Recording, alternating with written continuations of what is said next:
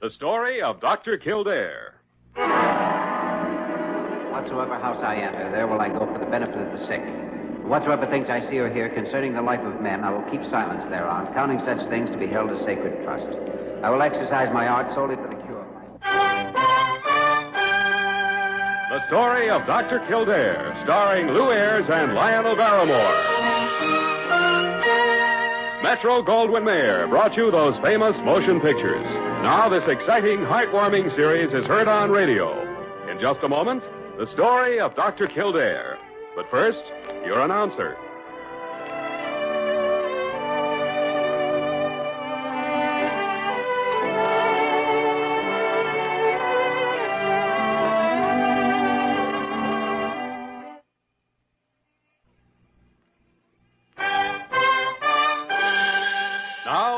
Now, story of Dr. Kildare, starring Lew Ayres as Dr. Kildare and Lionel Barrymore as Dr. Gillespie.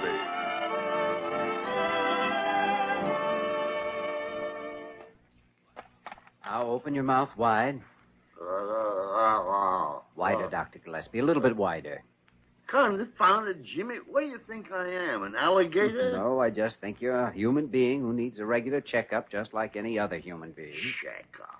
Why, I never felt better in my life. I told you he'd act just like a baby, Dr. Kildare. Oh, is that so? Yes, that's so. How do you expect me to act with him poking me and you standing there like a vulture? Well, if your health is as good as it seems to be, there's no harm in having it verified. Uh, draw the blind, will you, Parker, Oh, please? sure.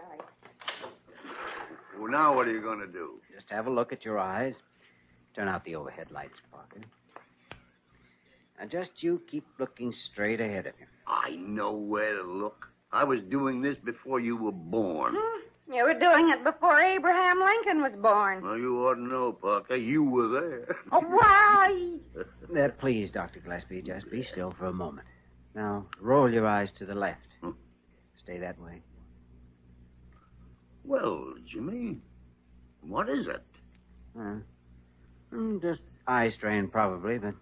Hmm. All right, Parker. Uh, lights on. Open the blinds again. Oh, now, don't be mysterious, Jimmy. You found something? Well, you- well, Tell me about it. Uh, have you been straining your eyes? Uh, doing any special work away from the hospital? Uh, well, yes, just a little. Well, now don't you be mysterious. All right, Jimmy, all right. I, I, I have been preparing a paper. On what? Well, a new method of establishing infallible controls in the use of antibiotics. If I'm right, it'll eliminate all guesswork with any reasonable number of test cases. But you've been working on that on and off for years. I know, I know, I know, but for the past few weeks I've been working on them every night. No. Why the sudden rush to finish? Jimmy, I have been invited to read my findings at the International Scientists Assembly at the Waldron Hotel next week. Oh. Why, Dr. Gillespie, What? that's wonderful. Just wonderful. Recognition by the International. Yes. Why did you keep it to yourself? I kept it to myself so as I wouldn't have you fluttering around me li- li- like a, uh, a headhunter at a cannibal picnic. Well. International. I knew it. I always knew they'd recognize your work sooner or later. This puts you in line for the Henderson Award, the highest honor in science. Ah, now, hold your horses, Jimmy. Hold your horses. I am not the only one who'll be reporting to the Assembly. They pick three men every year. I know. One of the others may make a contribution much more important than mine. Uh, my money rides on you. Ah, Yes, and mine too. They'd have to be crazy to pick anybody else. well, thank you, Parker. Thank you. Jimmy. Uh, well, are you finished poking into me? Uh, what about my eyes? Oh, just simple iritis. Then why were you looking at me like Calamity Jane when you finished examining them? because I didn't know the work strain you've been under. It simplifies the diagnosis. Well, what would your diagnosis have been if I hadn't told you about the paper? Oh, I. Oh, I'm afraid it might be uh, glaucoma. Glaucoma. Well, there's nothing to get excited about. You know the symptoms are similar to iritis. The symptoms may be similar, but the diseases aren't. Glaucoma is a mighty serious thing. Well, all your eyes need is a little rest. Uh, what else are you prescribing, Jimmy? Nothing. No Mydriatic? Uh, not even atropine? Not necessary. It's a mild case. Jimmy, uh, Mydriatic is usually prescribed for iritis, but it would be very harmful in the case of glaucoma. I- Is that why you want prescribed? Oh, I knew it, I knew it. You don't know what. I knew you'd say that. You're a regular hypochondriac. Oh, is that, so? that is so, yes. Don't I have a right to know what's wrong with me? Well, you just forget all about glaucoma, Dr. G. Just concentrate on your dictation to Diana. We're pulling for you to bring home that Henderson Award.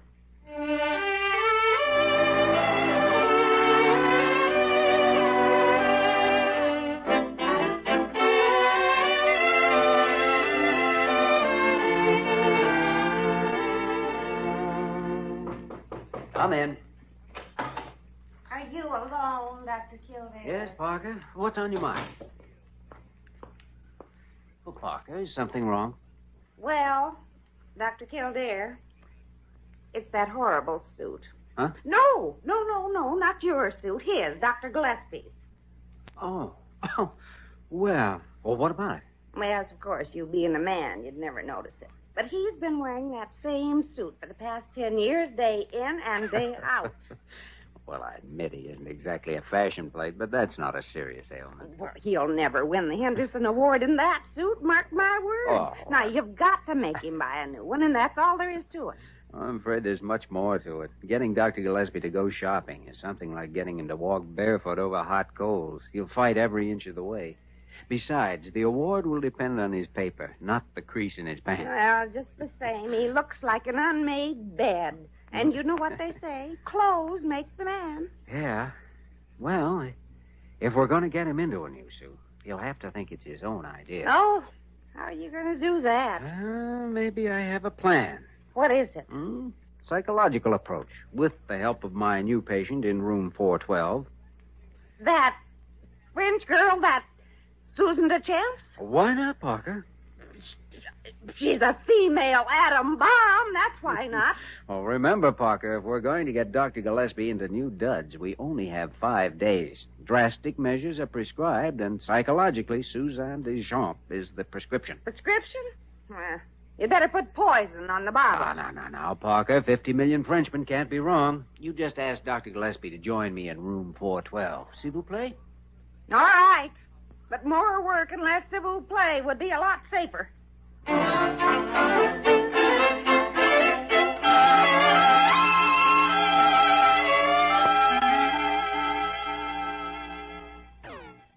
So, uh, that's our problem, Susan. Uh, will you help? But of course, Dr. Kildare. good. good. Such a charming manner to pass away the time. Shh, shh, there he is. Come in. Uh, Parker said you wanted to see me, Jimmy. Uh, is it... Well, is this your little patient? Uh, Suzanne Duchamp, uh, Dr. Gillespie. Oh, such a great pleasure, Dr. Gillespie. Oh, uh, pleasure is all mine. Yes, yes indeed. Uh, uh, but, uh, what's wrong with this little lady, Jimmy? Oh, just a simple sprain of the knee. Nothing really. Is it hurt here? Do you think a sprain could have serious complications? Oh, a sprain might have mighty serious complications. Oh, doctor. Don't worry now, young lady. We'll take care of that. You know, uh, I- I'm really pressed with other patients, Dr. Gillespie. I-, I thought I'd turn Susan's case over to somebody else on the staff. Now, uh, would you suggest anyone? well, somebody competent, of course. Yes, that's what I. If, you, if you're really busy, you oh, I, I, oh, oh, I, I know that. Excuse my asking it. I, I might taking it over for you. oh, I'm so glad you said that because there's a serious problem here that really needs clearing up. Poor Suzanne great grateful to be left in the care of Well, such a distinguished man. all right, Jimmy, you run along. Run Yes, along, sir. boy. Yeah. Miss uh, Susan will be perfectly safe in my hands. I'm sure everything will work out just fine. Goodbye. Goodbye, goodbye, Goodbye. Jimmy, goodbye. Dr. Kildare. Well, Parker, what are you doing on this floor? Oh, have you left him alone there with her? Yes, and the plan is working like a charm. Oh. She'll make him conscious of that old suit in no time.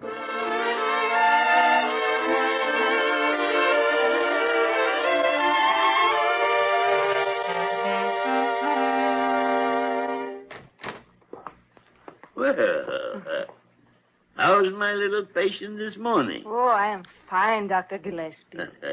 I better have a look at you, just to make sure. Oh, no, no. Let me look at you. Huh? Stand there, just as you are. Oh, such a man, such a physique. Oh, it is too bad. What's too bad? Oh, that you do not have greater care for yourself. To look so fine in some ways and so poorly in others. Poorly? Who looks poorly? I've never been better shape in my life. But the shape is so hard to see, as you are. Come, look in the mirror, Dr. Gillespie. Doggone it, I know what I look like. And you are not concerned? You do not care? Should I be concerned? Wait, wait a minute. Has Kildare said anything to you about me? Oh, well, he is so uh, devoted to you, he, he could not come right out and say that. You, you mean, uh, is that bad? But of course. You have just let everything go. And now look at the condition you are in. The uh, bagginess, the fading color from too much use. Can you not see? See? So that's it. And Kildare wouldn't come right out and tell me.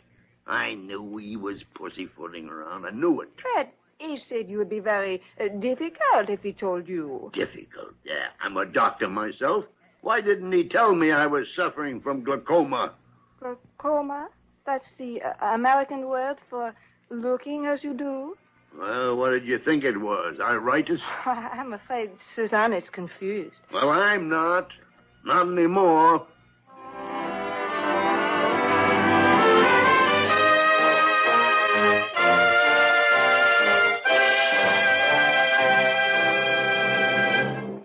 Return to the story of Dr. Kildare in just a moment.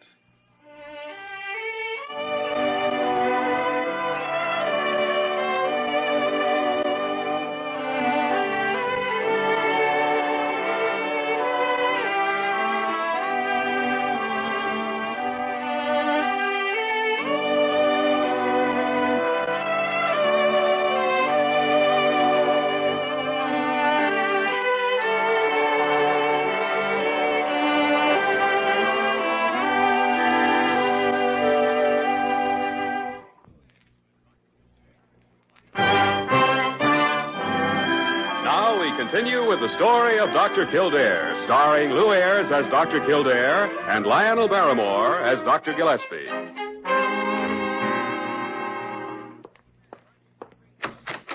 Hello, Parker. Oh, good morning, Dr. Kildare. Dr. Gillespie left a message, wanted to see me, isn't he here? Yes, he's in the examination room. With the patient? Yes. Who? Himself. Himself? Himself, sticking his tongue out, examining his eyes in the mirror, trying to convince himself he's got glaucoma. Glaucoma again? I'd better straighten him out before he... Oh, good morning, Dr. Gillespie. Good morning, Jimmy. Well, you're looking bright and chipper this morning. yes, isn't he? Hmm.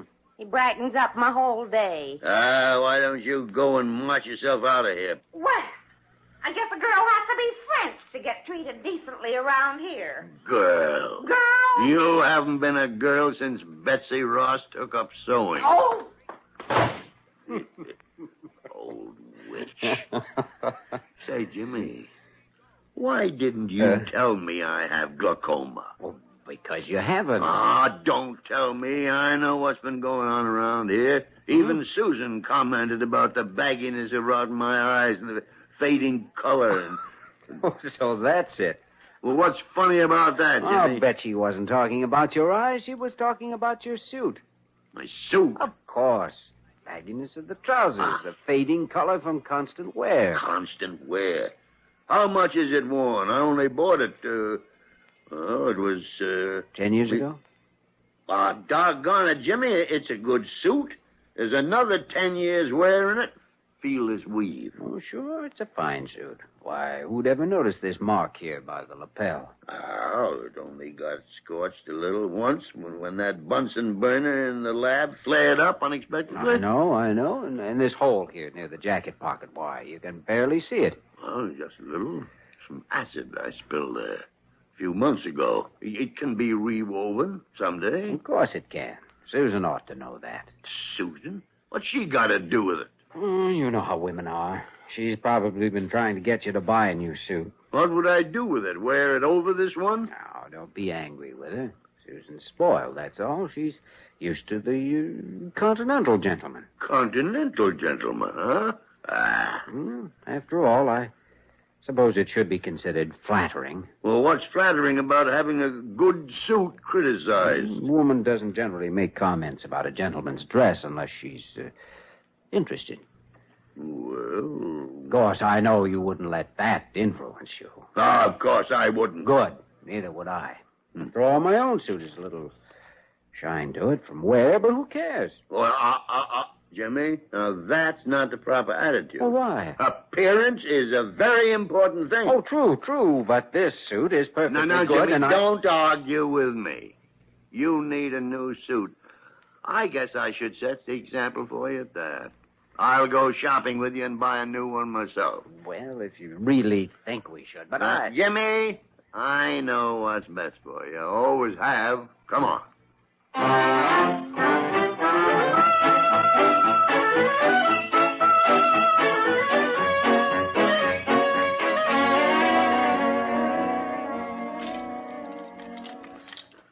Here we are, gentlemen. This is a new line, very fine quality. I'm certain we'll find the proper sizes on this rack. Ah, Would you like him, Dr. Gillespie? How about this blue with the pinstripe? Too loud? too loud. It looks like the kind of thing you'd wear to a seance. Say, haven't you got anything with a little more uh, zip to it? Well, uh, we have some new grays, pearl grays. No, I'm afraid they'd be a little bit too... A little too what? Look, let's see them. Over here, sir. Here they are, with the powder blues and the canary yellows. They aren't very, uh, conservative, Dr. G. Jimmy, don't be an old man before your time. What are those suits over there? Dad, to pass that partition. That, sir, is the college shop. Now, with each suit, you get a free ukulele, Junior. Well, there's no harm in looking.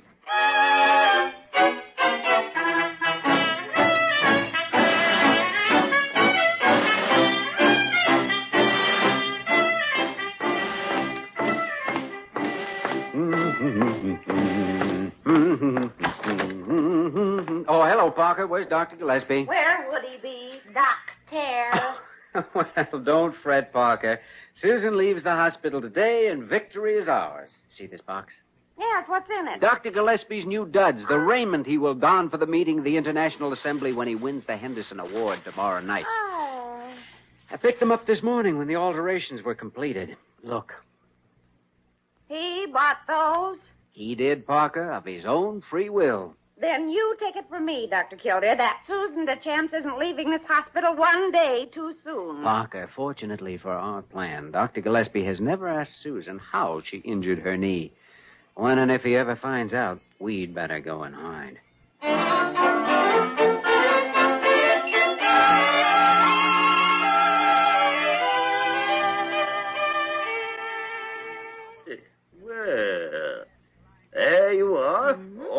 Dressed up and ready to leave us, huh? Hmm, My knee. It looks as good as new, no? Yeah, yeah, sure. It looks fine. And I owe it all to you, Doctor. Merci beaucoup. Well, you're welcome. Yes, sir, you're welcome. I'll have to keep an eye on you, you know, after you leave here. See that you have no more accidents. Oh, this time I will be careful of the train. Oh, so that's how it happened. Uh, you were hit by a train. By a train? Oh, no. I trip over the train. How did you trip over a train? Oh, oh, not the train that makes shoo-shoo.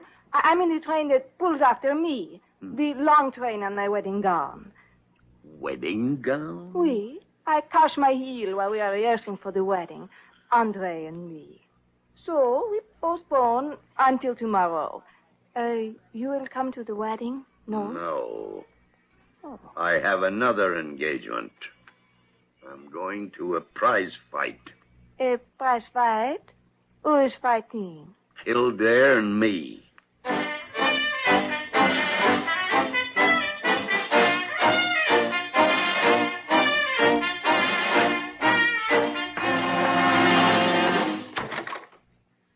Jimmy? Parker? Now, now, now, take it easy, Dr. G. Take, Take it easy, take it easy. Why, I oughta of all the low... Well, looks like you found out about the train, which means that you missed the boat, Romeo. Romeo. What are you talking about? I, I don't even know what you mean. Oh, you know what I mean, all right. But you just won't admit it. Otherwise, you wouldn't have come in here screaming and yelling. I'm not screaming and yelling. I I just want to know why my office is littered up with all this this junk. Junk? What junk? All we have here are the new clothes you ordered. I ordered. Jimmy Kildare, you high pressured me into buying every single thing there. You and this this female Lucretia Borgia with her snooping and plotting. I was not snooping and plotting. I just told Dr. Kildare that he had to get you into a new suit for the assembly tomorrow night if you ever expected to win the Henderson Award. Well, I might have known it was your idea. Parker, now I got news for you. I won't wear the doggone thing. Oh, yes, you will. It really looks good on you, Dr. Gillespie. I won't wear it, I tell you. Now, you listen to me. This is one time you're not going to tell anybody. If you go before that assembly wearing that potato sack you got on. Potato sack? Potato sack. If you do, I'll get right up while you're reading and tell everybody that you're a hypochondriac. Parker, and that ah, no, you wouldn't dare. Oh, wouldn't I? Well, you just try me and see. Jimmy, do you think she would do a thing like that? Oh, Parker's a very determined woman at times. Ah, she's an old witch. That's what she is. I don't know. There's no way you can stop her. Well, I don't care what she does. I'm not going to wear that suit. Okay, okay. Just the same. You better try it on. Ah, you too, Brutus. Come on, Caesar. It won't hurt a bit. Uh,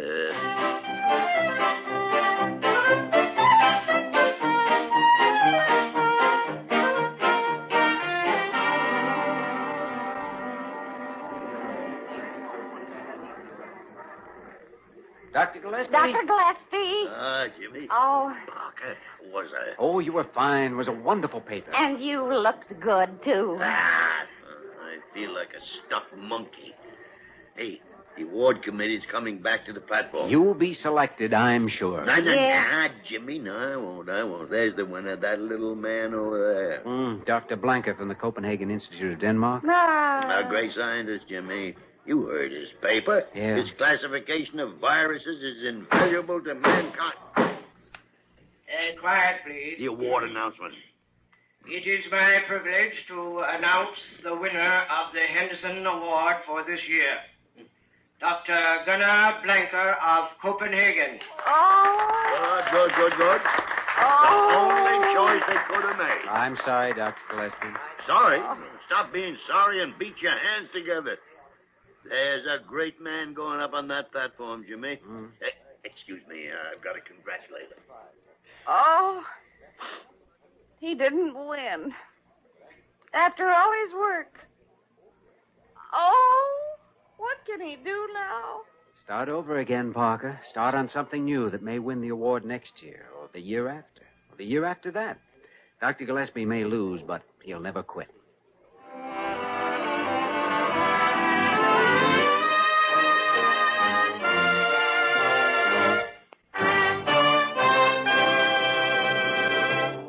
In just a moment, we will return to the story of Dr. Kildare.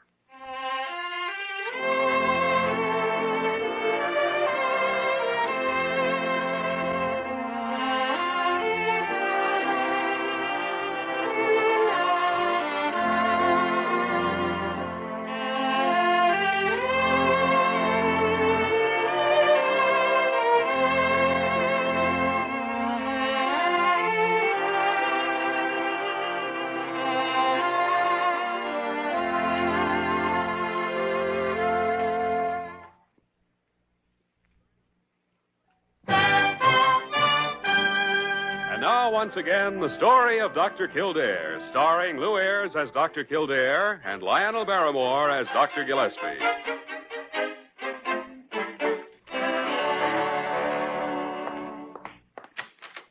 Morning, Dr. Gillespie. Huh? Uh, oh, oh, good morning, Jimmy. Good morning. Come in, come in, come in. Hmm, quite a stack of notes you have there. Starting on a new project already? Well, that's something I've been meaning to get at for some time now. I suppose you noticed he's wearing that old potato sack again. Don't call this suit a potato sack. Don't call that potato sack a suit. You should be wearing your new suit, Dr. G. A new suit. Feels more like a straitjacket. On you, it looks good. Yeah. Uh, All right, here's the morning paper. Picture of the assembly and Dr. Blanker, and here's one of you right on the front page. Well, picture me? Mm-hmm. Say, you look real nice. Real nice. Yes. What's it say, Jimmy? Well, it says uh, Dr. Blanker, winner of the Henderson. Oh, no, no, where's the part about you? Oh, here. Dr. Leonard Gillespie, who received an ovation for his paper on antibiotics, was given a special citation by the committee after the meeting ended. Hmm. He was. He... Oh, no.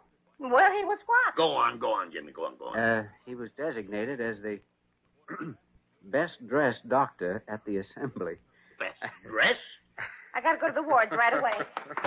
Parker, you come back here. You'll need a jet plane to catch you today. Best dress. If only the committee could get another look at you now. What? Uh, oh, yeah, yeah, yeah, yeah. Best dress. In my potato sack. yeah.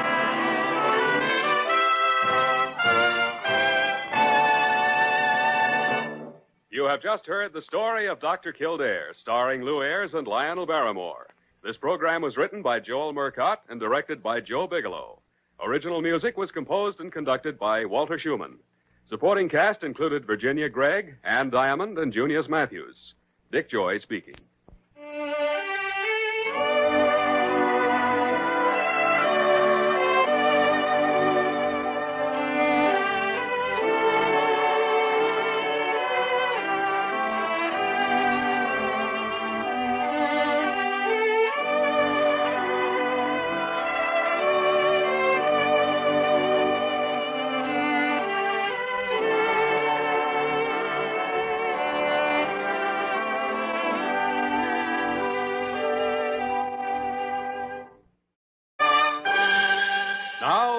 The story of Dr. Kildare, starring Lew Ayres as Dr. Kildare and Lionel Barrymore as Dr. Gillespie.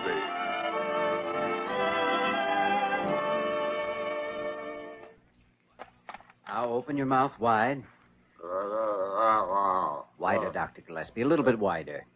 Confounded Jimmy. What do you think I am? An alligator? No, I just think you're a human being who needs a regular checkup just like any other human being. Check up. Why, I never felt better in my life. I told you he'd act just like a baby, Dr. Kildare. Oh, is that so? Yes, that's so. How do you expect me to act with him poking me and you standing there like a vulture? Well, if your health is as good as it seems to be, there's no harm in having it verified. Uh, draw the blind, will you, Parker? Oh, please? sure. Well, now what are you going to do? Just have a look at your eyes. Turn out the overhead. On what? Well, a new method of establishing infallible controls in the use of antibiotics. If I'm right, it'll eliminate all guesswork with any reasonable number of test cases. But you've been working on that on and off for years. I know, I know, I know, but for the past few weeks I've been working on them every night. Oh? Why the sudden rush to finish? Jimmy, I have been invited to read my findings at the International Scientists Assembly at the Waldron Hotel next week. Oh. Why, Dr. Gillespie, Huh. that's wonderful. Just wonderful. Recognition by the International. Yes. Why did you keep it to yourself? I kept it to myself so as I wouldn't have you fluttering around me li- li- like a, uh, a headhunter at a cannibal picnic. Well, International. I knew it. I always knew they'd recognize your work sooner or later. This puts you in limelight, Parker.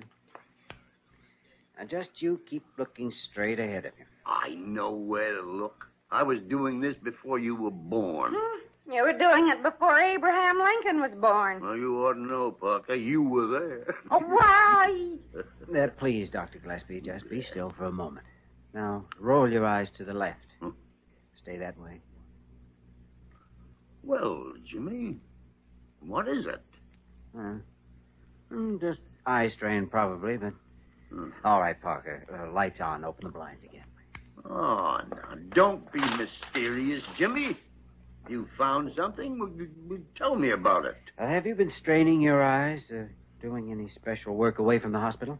Uh, well, yes, just a little. Well, now don't you be mysterious. All right, Jimmy, all right.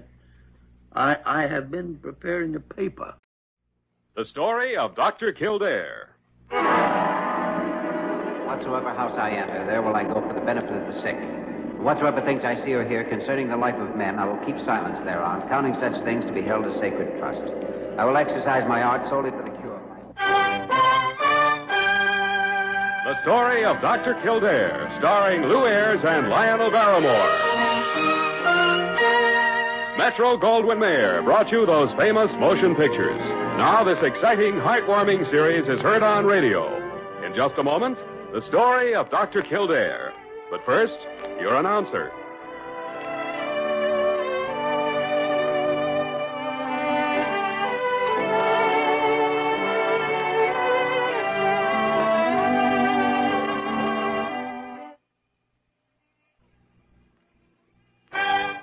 For the Henderson Award, the highest honor in science. Ah, now, hold your horses, Jimmy. Hold your horses. I am not the only one who will be reporting to the assembly.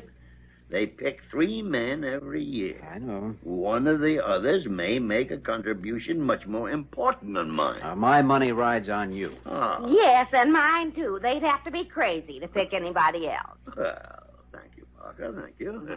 Jimmy. Uh, well, are you finished poking into me? Uh, what about my eyes? Oh, just simple iritis. Then why were you looking at me like Calamity Jane when you finished examining No, them? because I didn't know the work strain you've been under. It simplifies the diagnosis. Well, what would your diagnosis have been if I hadn't told you about the paper? Oh, I. Oh, I'm afraid it might be a glaucoma.